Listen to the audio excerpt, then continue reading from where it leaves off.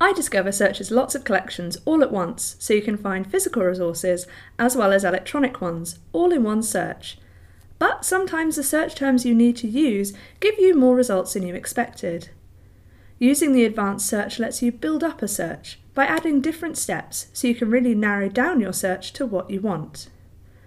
The advanced search menus give you lots of different options, such as searching by a specific field, such as title or author limiting your search to certain resource types, like a DVD or audiovisual in library speak.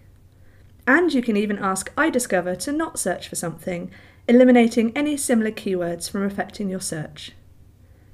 To show how this works, we're going to look for resources on the grey wolf, and we want to get scientific resources, so we're going to use its Latin name, Canis lupus.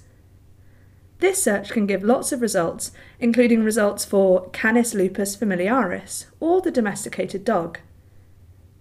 As we don't really want any dog related results, we can use the AND or NOT drop down menu, and by selecting NOT and then entering Canis lupus familiaris into the accompanying box, we're eliminating these search terms from our results. By running our advanced search, we get lots of resources about the grey wolf and other subspecies, but nothing mentioning the domesticated dog. Brilliant.